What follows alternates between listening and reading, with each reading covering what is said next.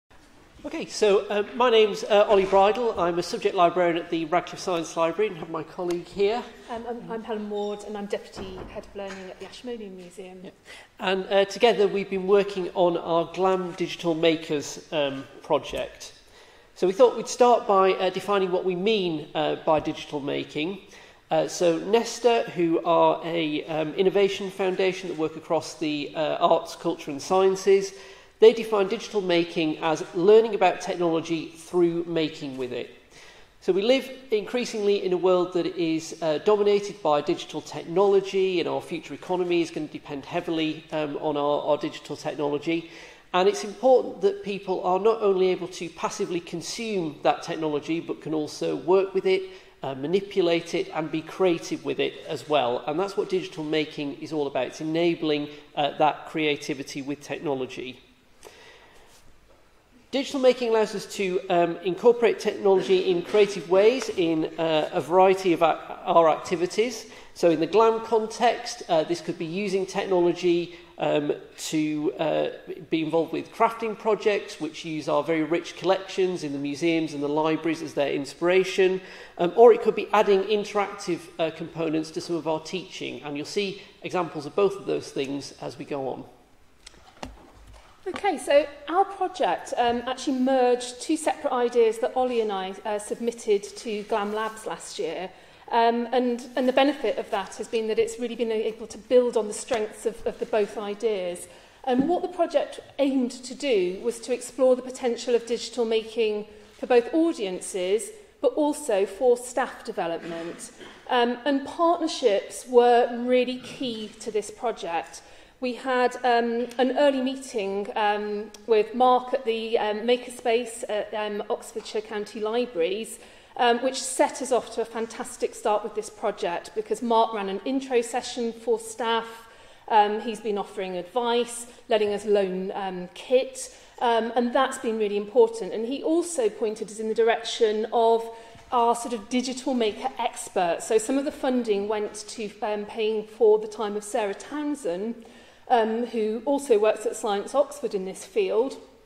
to kind of hold our hands as we went along.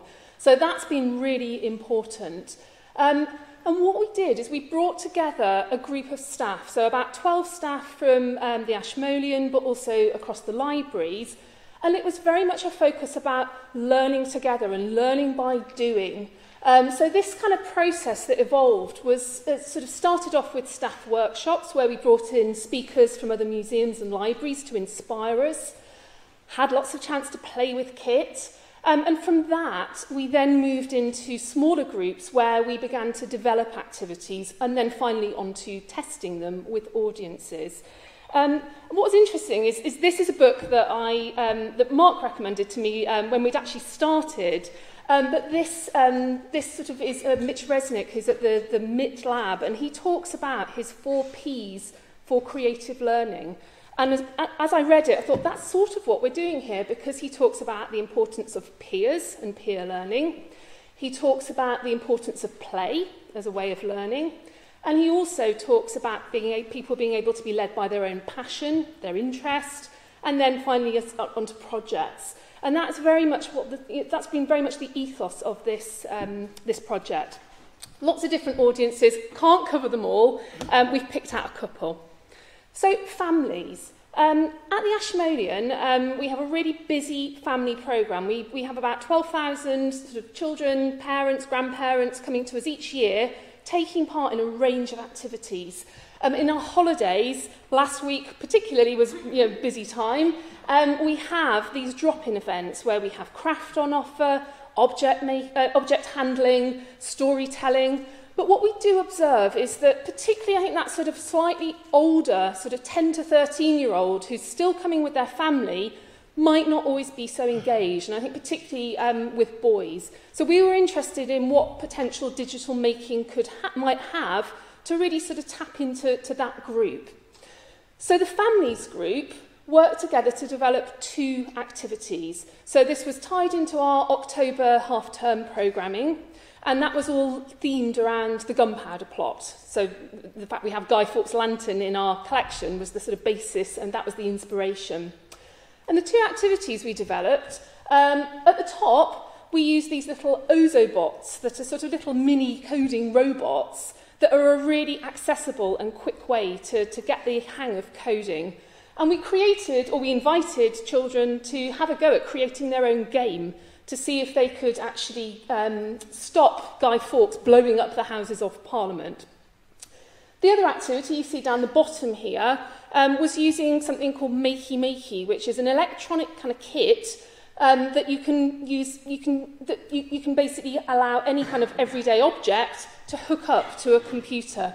So what was nice here is that children were able to craft fireworks in usual kind of craft materials, but then take it a step further by using Scratch to actually then animate them with sound effects. So it went down really well. Um, you can see here from the feedback that when we asked the question, would you be up for more of this? We got a really big response. 84% of the, the children and young people involved wanted more. And parents too were also really positive. Um, it was interesting actually um, that there were quite a few dads who got really stuck in. Um, so this, this dad here who tweeted about the experience, they took it another level and they saw, this was the event we ran at the, um, the library, um, and he could have, you know, they took it a step further and then started writing code to also create a visual animation of the firework going up along with the sound effects. So I think what this demonstrated is clear potential for this to be a way of developing audiences. But I think it also sits in a bigger national picture with a kind of increasing recognition of the role of creativity in education So last year, the Durham Commission reported and made a number of recommendations, and one of the things they talked about was the importance of children and young people accessing digital creativity. But then coming back to our friend Nesta, there's also research out there that shows that actually not all children and young people get that chance and that there's a disparity and it's often disadvantaged children not getting that opportunity. And I think that that presents a question about what role GLAM might be able to play in actually widening access to digital creativity.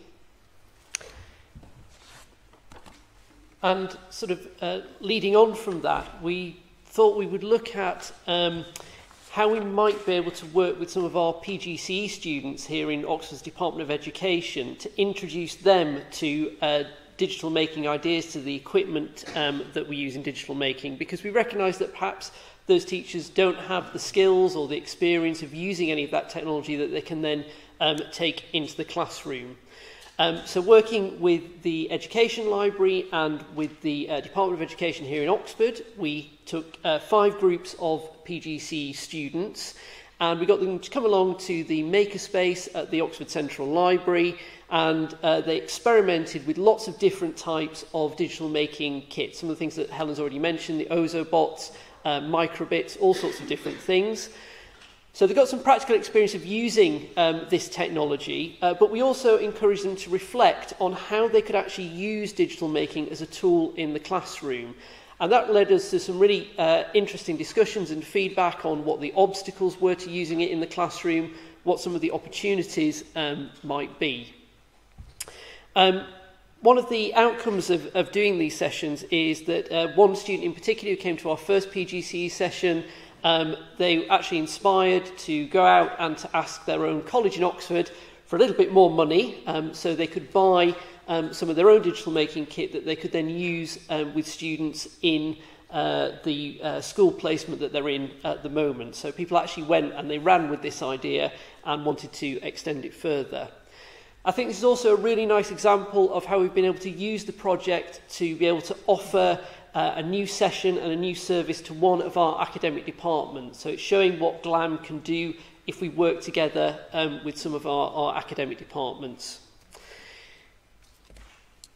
It also, I think, um, illustrates uh, the uh, potential for other sort of research that needs to be undertaken, looking at sort of the access to this kind of equipment and this kind of kit within um, schools as well. We've also um, not forgotten about the theme of supporting um, staff development. So we've been looking at ways that we can make sure that uh, staff within GLAM have the kind of skills that they need uh, for the 21st century and for the, the digital shift. Um, so throughout the project, we've been working with, as Helen said, a whole team of, of uh, staff throughout, throughout GLAM, and this has given us a real opportunity to make sure that uh, staff have these new skills in digital making, that they've been able to look at new ways in which they can engage in the collections within their own institutions and in a way that they've been able to learn through being creative and also through having quite a lot of fun um, while they've been doing uh, the project as well. And as you can see um, from some of the comments up on the screen, um, they've had a really good response um, to working uh, with our staff in this way. Okay.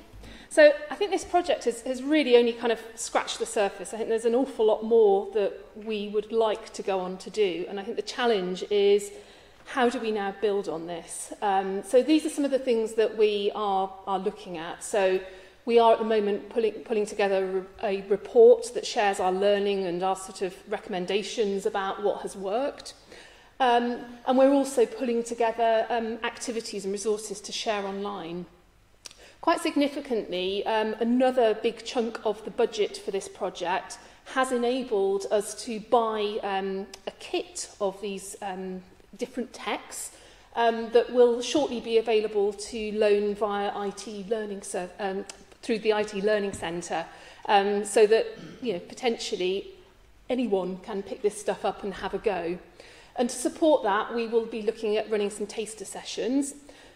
But I think the big thing that we're really, really keen to be able to continue with is this loose network of people who are interested in digital making, who can continue to come together, not lots, but come together to, to sort of share, to, to inspire each other, to sort of keep that momentum going. Um, because I think we'd be quite disappointed if after the last sort of eight months or so, this all sort of fizzled out because I think we, we feel there's a lot of potential and a lot of fun actually to, to have with this.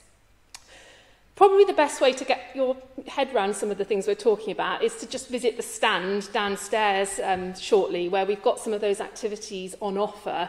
Um, and we, we have also um, sort of got sort of um, something set, an iPad set up so that if you are interested, we'd love to hear. And we'd love to hear actually about other things that I'm sure are probably happening in the university in this realm to start continue, or to continue joining some of these dots together. Okay, any questions?